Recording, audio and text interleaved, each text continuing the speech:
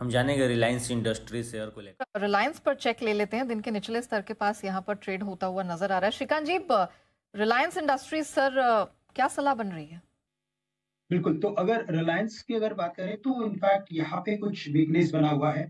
No uh, doubt की important supports के काफ़ी करीब आ चुका है। 2450 55 के करीब मल्टीपल टाइम्स इसने सपोर्ट लिया है since last almost ten twelve days multiple times यहाँ से रिकवरी बनी है, लेकिन इस बार का जो सेल ऑफ़ इसमें बना हुआ है, वो लगातार अपनी प्रीवियस हाई को क्रॉस नहीं कर रहा है, लेकिन प्रीवियस लो को कंसिस्टेंटली ब्रेक करते जा रहा है।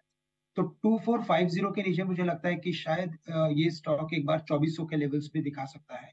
तो करंट लेवल से बी केयरफुल एमडो से अगर लॉन्ग पोजीशन से तो 2450 का स्टॉप लॉस रखें। 2450 के नीचे शॉर्ट की पोजीशंस बना सकते हैं, या तो करंट लेवल्स पे भी शॉर्ट की पोजीशंस बना सकते हैं विद स्टॉप लॉस एट 2500 तो 2500 का काफ़ी नज़दीक का लेवल है। उन्हीं लेवल्स के साथ शॉर्ट की पोजीशंस बनाए। टारगेट्स रखे 2450 के। शॉर्ट की पोजीशन रिलायंस इंडस्ट्रीज़ में रेकमेंडेड है 2400 के डाउनसाइड टारगेट के लिए।